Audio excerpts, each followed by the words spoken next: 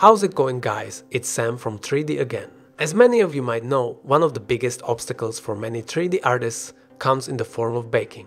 Not just because it's a technical and tedious process, or because it takes considerable computing power, but also because fundamentally it is quite a confusing concept to understand. However, today we will break down the process of baking into what it is and what the different types of baking are, so that this process can be slightly easier to understand. But first, I want to take a moment to mention ThreeDee.design, which is a collection of massive online libraries that can take your next project to the next level. Whether you need it for a website, an app, VR or even games, ThreeDee.design is the place to go. Right now, they have a lifetime deal which gives you access to all current 3D packs, and all future 3D packs to come with a 60% discount, so check out this link in the description below to start saving immediately. To put it simply, baking is just setting what you have created in place. It is similar to actual baking, where you take all your ingredients and form a cohesive dough. The dough can look beautiful and uniform, however, it only becomes a final, edible product after baking has completed.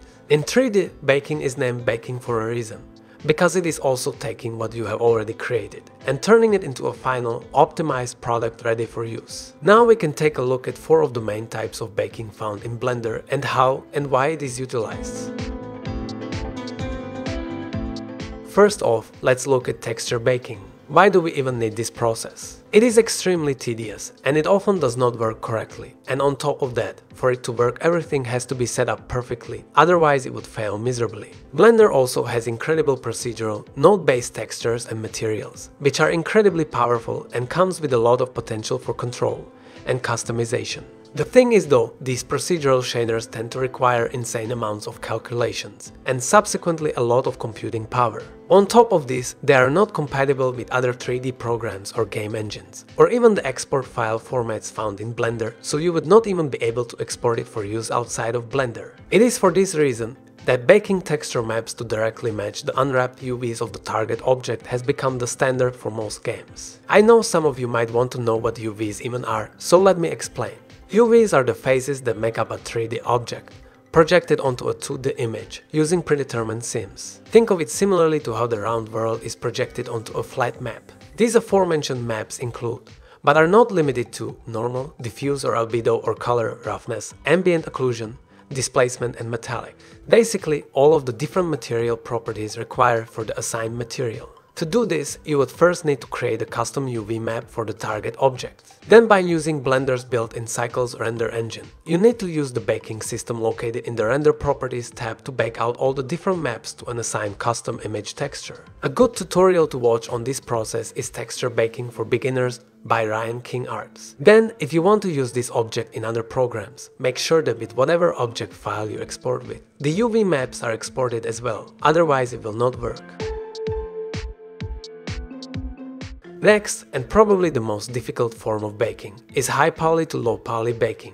The reason this is done is because detailed models with a large number of polygons, and possibly n-gons, or faces that have more than 4 points, are not optimized for animation or video games, and the standard method is to bake all the detail onto a normal map to be used with the other texture maps. The way this is done is to first retopologize the model, which is the process of recreating the model with the exact same position and dimensions at a much lower level of detail and consequently a much lower poly count. Then the low poly model needs to be UV unwrapped, just like with the texture baking process, and it would be the same UV map mostly. Then, with the two models situated in exactly the same position, and again using cycles alongside the baking system in the Render Properties tab, the normal map is baked onto an assigned custom image texture. A great tutorial for this process is Texture Bake High Poly Details to a Low Poly Mesh, also by Ryan King Art.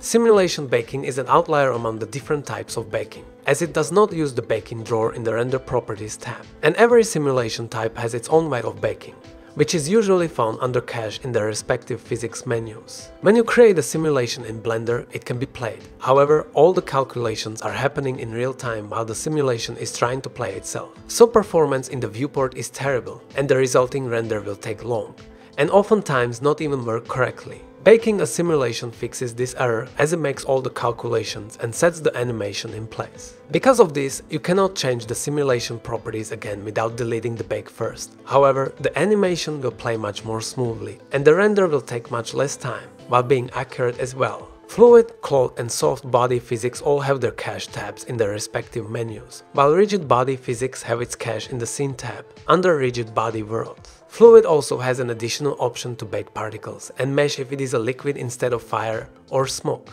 For soft body and fluid simulations to work correctly, objects that are interactive within the scene need to be set to collision. A good tutorial for Blender physics is the Learn Physics simulations in Blender by Blender Tutor. Finally, we have light map baking. Probably the most straightforward one, it is right in the name. Real and accurate lighting can be very performance intensive and too much for certain games. Therefore, with light map baking, you can bake light interactions with certain faces of the target object right onto image textures, very similar to how texture baking works as well. This drastically improves performance for games as well as for animations. And that is it for today's video about baking. I hope this video helped explain the concept to you and possibly even gave you a new starting point. If you found this video helpful, consider liking and subscribing so that you do not miss future helpful videos. And if you want to level up your professional business website or portfolio, consider checking out ThreeDee.design in the description below. Thanks for watching, see you in the next one.